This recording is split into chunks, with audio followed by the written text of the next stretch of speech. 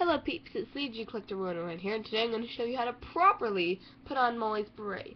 This is the beret that comes with her accessory set. Uh, it costs $24, by the way. So yeah, a lot of people in the reviews on Molly's accessory sets, as I saw online in American Girl, which I have read some of those reviews, yes, because whenever I was looking to buy Molly, I was just on the website all the time. Anyways, a lot of people have said the beret does not stay on, and that's true if you don't put it on properly. Anyways, so here's the beret. Unlike other berets, which, like this one, from the fashion show, which are like knitted and stretchy and woo floppy. This one is a bit more firm. It does stretch a little bit, of course, but yeah. Anyways, and it's also folded under, so as you can see, it's got an extra folded under piece, and that's to keep the tag in, because as you know, as we all know, everything from American Girl has long, obnoxious tags.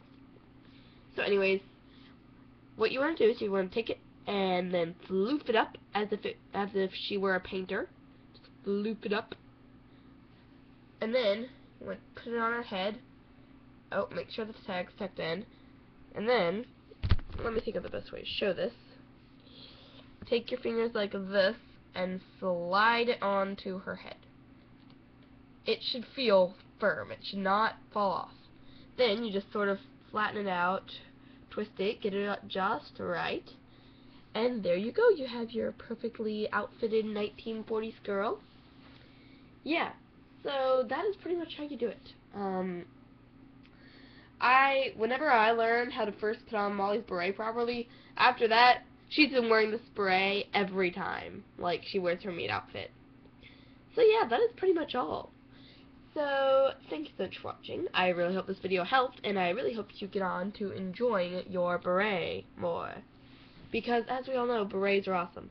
See, look, I've got this beret from the American Girl Fashion Show, Molly's beret, and, hopefully, in the near future, I'm going to purchase the My American Girl True Spirit accessories, which comes with another beret. Man, I'm just to have a collection of doll berets. So, yeah. Thank you so much for watching. Comment, rate, like, and subscribe. Bye.